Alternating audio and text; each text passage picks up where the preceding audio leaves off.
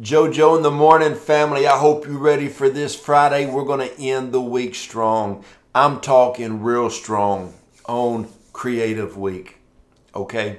I want to let you know sometimes your greatest abilities are hidden behind your biggest disabilities and fears. When I was young, used to have a, a slight stutter, had a slur to my voice, had a problem reading. Um, eventually, I got glasses, and that fixed some of the problem. But the main thing that changed my life is when I had an encounter with Jesus Christ, and everything came full circle to what I knew I was called to do. I remember when I was young, we were in a church service, a Baptist church when I was young, and I sat on the back row because that's where Baptist, you know, youth sit. And I remember the Holy Spirit spoke to me. I didn't know what the Holy Spirit was. I didn't know He spoke. And Holy Spirit said, "You're going to be a preacher like like, like Brother Ken." And I remember I told my guy on, my left, I said, "Hey man, I'm going to be a you know preacher like Brother Ken." And uh, you know, I think he said something like, "Man, you, you, you don't you don't like getting in front of people. You don't even own a tie." You know, you can't be no preacher. To my other friends, hey man, I'm gonna be a preacher like Brother Ken. He said, man, you don't take anything serious. There ain't no way you can do it. And uh, and so I started thinking about all the reasons I couldn't. About uh, you know, I, I, could when I looked at words on a page, they just didn't make sense to me. Um, I had a, a slight problem with, with seeing and and you know different things, and it's kind of a little slur to my voice some and you know, and so didn't like public speaking. And then when all that broke, I could see perfectly no stutter, no slur, love getting in front of people, everything shifted. Sometimes your creativity is hidden behind your biggest fears. I can't tell you how many people, and I'm one of them, that have had dreams of, you know, walking in, in, in wealth, sowing massive amounts of money into nonprofits and charities and um, orphanages, helping widows, third world countries, supporting local missions, but at a time you were in extreme poverty. It was a mindset shift that God wanted to work in you to create who He called you to be. I haven't fully arrived at where I'm going. I'm always working on myself to get to where I need to get to. That's why I love our, our mentoring program we jump in and we help people grow into who God has called them to be. Two scriptures today. First one, Romans 12, 6. Having gifts that differ accordingly to the grace given to us, let us use them. If we prophesy in portion, proportion to our faith, okay? First part of that's what I want to really hone in on having gifts that differ according to the grace given to us. I have gifts. I have a unique gift mix God has given me. You have a unique gift mix. You and I may be similar, and then we may have some things that are different. That's why my wife and I are, are such a, a, strong power couple. You ever seen the, the, the two circle um, and, and then like in, let's say that like 20 or 30% of the two circles overlaps? that's how my wife and I like my wife as is as administrative and like she designed our whole house. When we got ready to build our house, she gave the builder a book about this thick. Every room was already decorated. She had everything planned out. That's not me. Um, my wife and I are different in the way that we think on a lot of stuff, but we got about 30% of, of the way we do like a lot like like when we get in a service a church service together flowing together identical um, just the way that you know we, we flow and, and we preach and teach when we do videos together perfect combination you know I, i'm an apostle she's more in the prophetic real administrative i get these creative uh, just ideas and she can administrate them down you know power couple but we understand where the other one is gifted, okay? That's what this is saying.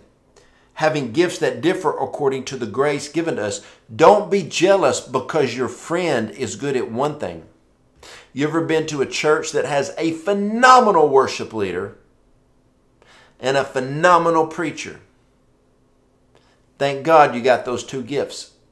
Then you got somebody who's anointed for finances to do offering. You, you got somebody who prophesies. They prophesy the word of the Lord. You have different people. Then you got administrators and gifts of help that, that run everything. Understand, you know, you ever go to a big business, you got someone who's the accountant, someone who's over the graphics, someone who's over the marketing, someone who's over the sales. Everybody has a different gift, okay?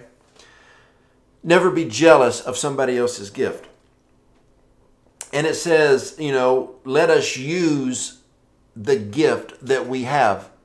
A lot of people are not tapping into the gift God has given them, therefore, they're not tapping into their creativity. Like, I, I knew I was in a good place in life when three years ago, somebody said, Joe, can I ask you a few questions? I said, sure, man, what's up? If you could do anything in the world with your life and what you do for living, if you could do anything in the world, what would you want to do? exactly what I'm doing. And he said, No, no, no, no. Everybody's got dreams. If you could do anything, what would you want to do? I'm like, No, I'm doing exactly what I want to do because I asked myself that 20 years ago, and I have been creative enough with the Lord to step into it. Now, he asked me that three years ago, and then about, oh, I'd say 16, 17 months ago, God told us to start the mentoring. We did it. Every time God tells us to do something, we use our gift mix to do it. Um, we use our gifts, talents, and abilities, my wife and I together, prophetic, apostolic, about 30% overlapping. We've, we, we see, we, we come together, we launch it, we get it going, we build it, then we hire somebody to take over the, the main part of the administration, then we go to the next thing, but we do our part in it, okay? Use your gifting. Be creative in your gifting and understand where you're fearful. A lot of times that fear is a wall that is holding you back from your greatest breakthrough. Y'all better come on up in here today. Next scripture. 1 Timothy 4:14 Do not neglect the gift that you have. Do not neglect the gift that you have. Let's just stop right there. Let me, let me talk to you for a second. Your gift will make room for you when you walk in character and integrity and you're full of the Spirit. Your gift will make a living for you. Your gift will move you forward in business. Your gift will move you forward in ministry. Your gift will make a way. That's what your gift is for to make a way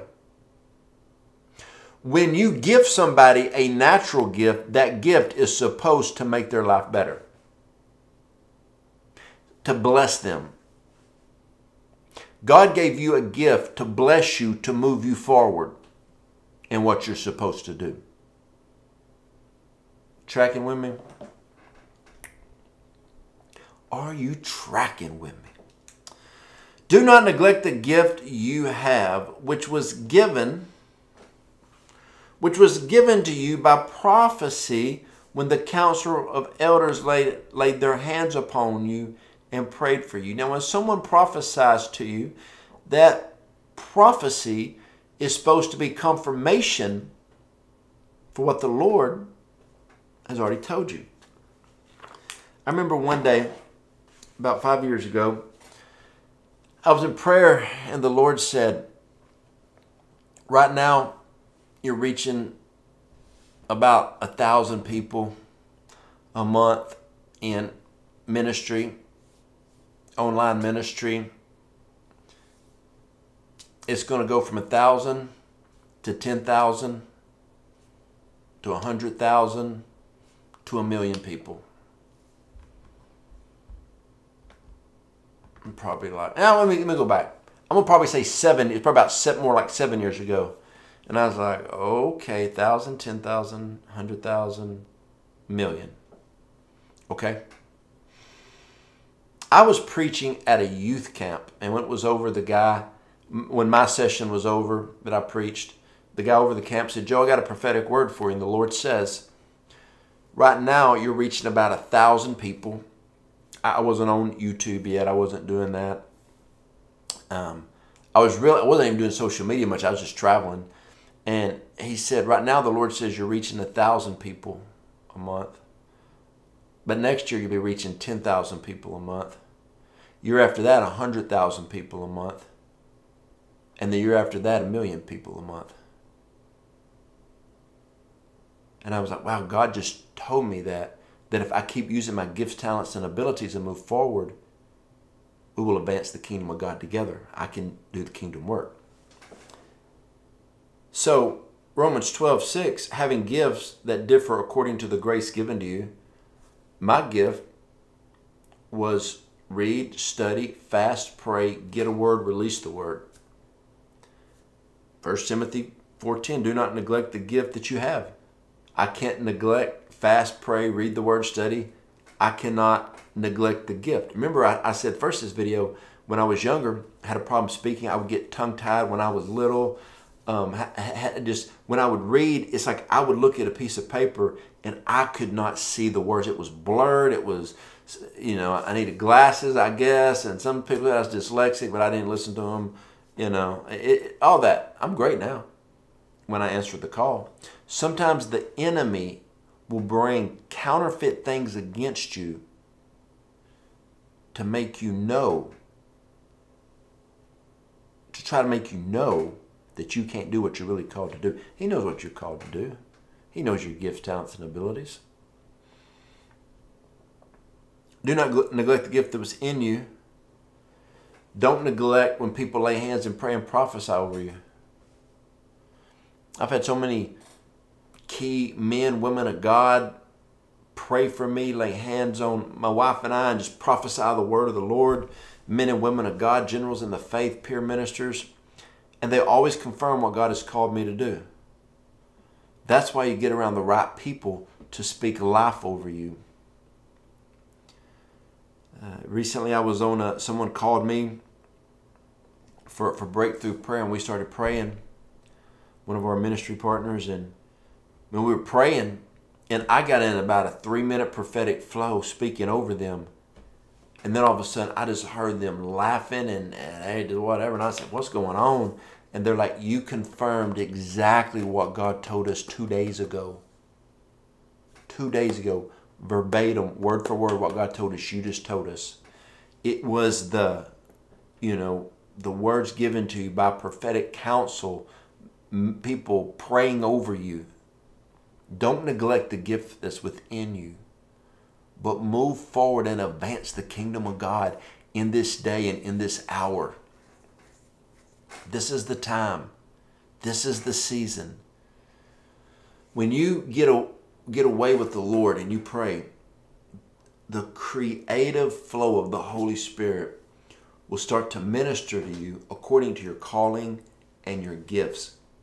And then you will start to flow with the power of God and you will do everything that He's called you to do. And I want you to know there's no devil in hell and no person that can stop you from doing what God has called you to do. Love y'all.